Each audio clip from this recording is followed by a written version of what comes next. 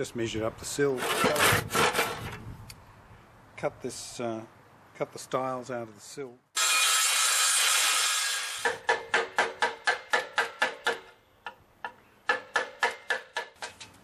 Tenons now. So here's the end. This is how deep it's going to be because the tenons go into the stiles. And uh, this is the thickness of the tenon. Is out from the blade the thickness of the stile.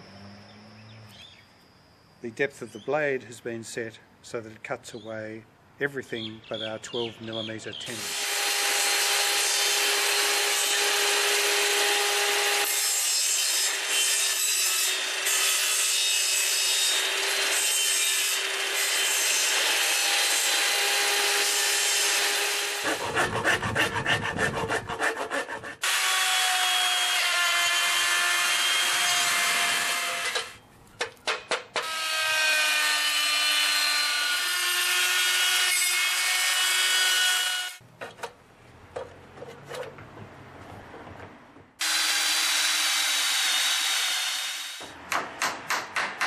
That I put on with the router only went so far. So to get it into the right into the corners, we need to do a little bit of handwork.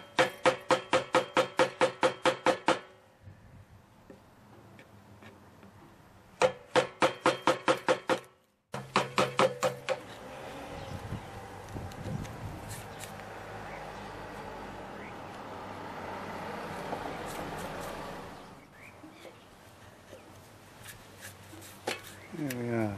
Can sand it now.